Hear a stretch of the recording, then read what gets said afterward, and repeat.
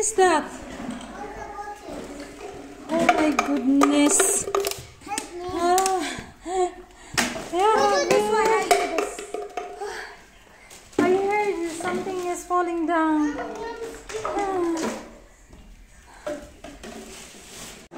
Nag, ano mo ito guys, nag, stock niyo yung mga empty bottles. So, dagda na tayo na na.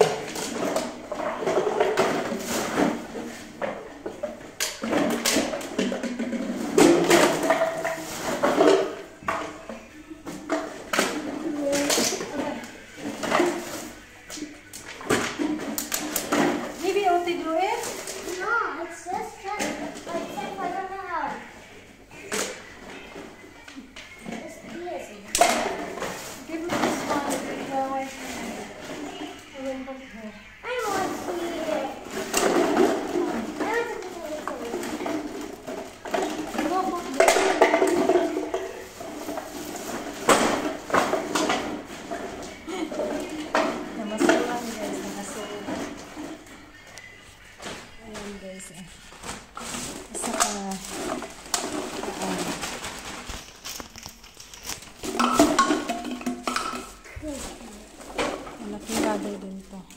Ano siya, mga sining ay ah, mga ipanghatag na sa charity. Mga tube. Ayan. How many keys that we have? Two only. We have two keys. ah. Here has 1,000. Here has How many? Oh, be careful! 1,000. This has, no. This has 2,000. This has one- 1,000. No, send, send this one. يلا شكرا شكرا شكرا Thank you for helping me. Thank you very much. You're welcome. Thank you, my Habib Didum Dodge.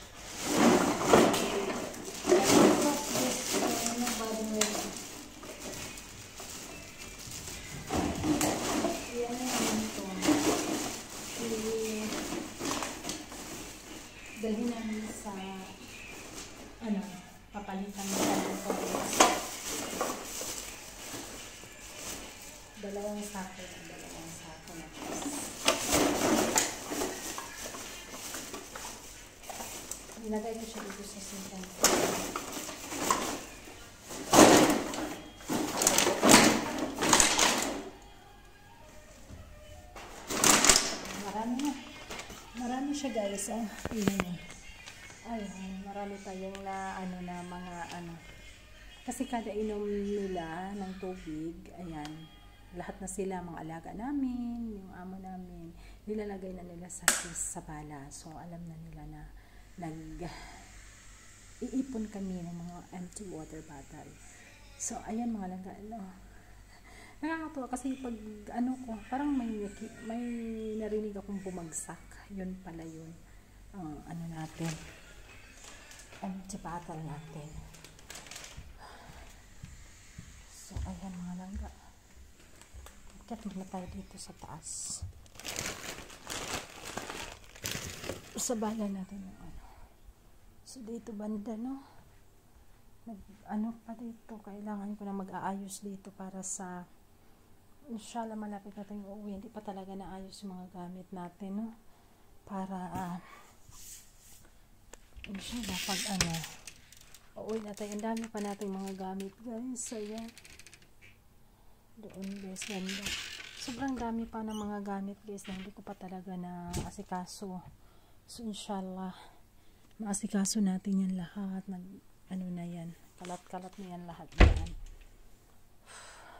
Kita niyo yung mukha ko. Ang pula-pula. Dahil kanina, pag sundo ko sa school, ang alaga namin hindi nagpa-open ng aircon. Ino-open niya yung window. Tapos, ang init-init.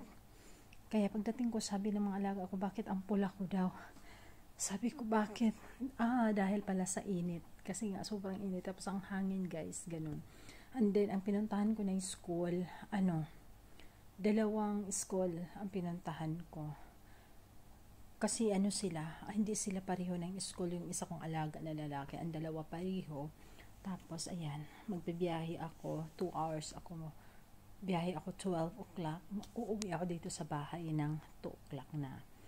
So, ganyan po yung routine ko everyday dito sa bahay. Maghahatid ako morning, tapos pagbalik ko, ayan, maglilinis ako, tapos, ayan, afternoon na naman, susunduin ko na naman sila. So, ganyan po, no? Normal lang po yung routine ko. At saka hindi naman po masyadong nahihirapan kasi nga tulong-tulong kami dito sa bahay na to. And then yung amo namin, wala naman silang ano na gawin mo to ganun ganun. Uh, kasi nga alam nila yung mga trabaho namin dito. So ayan lang po mga langga no? Ayan lang po yung buhay natin dito. So ano na ngayon? 3 weeks na ng Ramadan mag 3 weeks na and then next week April na di ba? April na. Okay so pag ano na eh katapusan na ngayon, magsasahod na. So, bayad na naman tayo ng mga utang natin.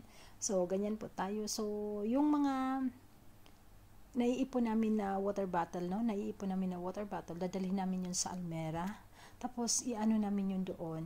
Uh, ipapasok, may machine talaga siya dito na ipapasok lang siya. Tapos, every bottle, mayroon siyang points. So, 2 points, 2 points po yung ano niya, kada isang bottle na ilalagay mo. Tapos, um, every, parang 1,000 points yata, 10 real.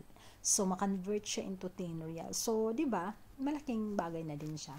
And then, makakatulong na din tayo sa environment natin. So, ganun po siya mga palangga, no, kung bakit kami nag-iipon ng water bottle dito. Dahil, ayan, nilalagay po namin sa ano sa mall uh, doon sa machine para maka, maano po siya makakatulong din po tayo sa environment natin ma-recycle po siya. Ganun po. Mayroon akong vlog diyan na paano mag-recycle, mag, paano magre-recycle, ma, paano mo ilagay doon sa um, machine na 'yon.